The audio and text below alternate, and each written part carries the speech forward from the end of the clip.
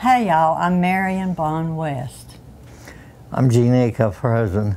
I have written a story for Guidepost, and it's called The List. And when I saw my rheumatologist one day, he gave me a form to fill out, and it said, Are you happy generally? Which it had never said that before. And I, that day I was not happy. I hadn't been happy for a while, and I said, No, I've lost my joy.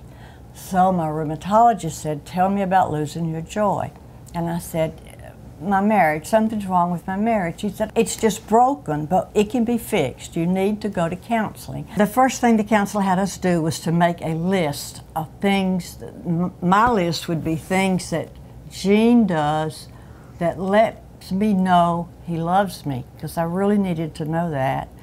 And then Gene, uh, 10 things, and then Gene had to make a list of things that I do that he realizes that I love him. And these are small things. These are not like going on a trip or a big gift. Small things that we do around the house and we realize that each other loves us. There is another list involved in this story. When I was a widow and had been a widow for four years, I had made a list and I told God, I really want to be a wife again. You bring me someone. Uh, this list that I made of what I wanted into a husband was turned into an article that went into Guidepost. And I got some calls from some fellows who wanted to be married.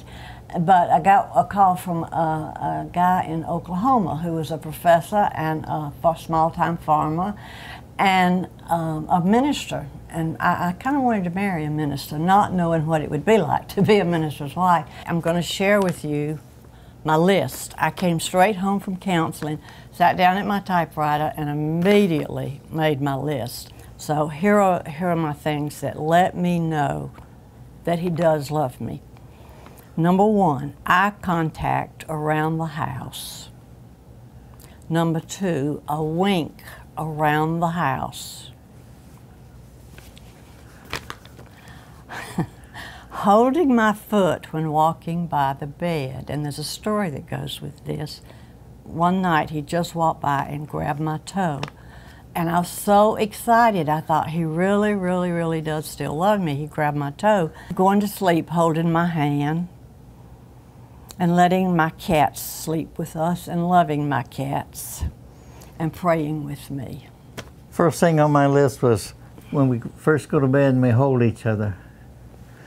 Second thing on my list was when you get your hair done and come home and I get to see all your curly hair when you cook me a roast. Yes. And when you make me soup after you've had the roast. Yes. When you go with me to Social Circle. To Blue Willow. To Blue Willow. Yes. That's, that's my list of what makes me happy about her. Let's sing it together, honey. It's been a long time. Have I oh, told you lately that I love you?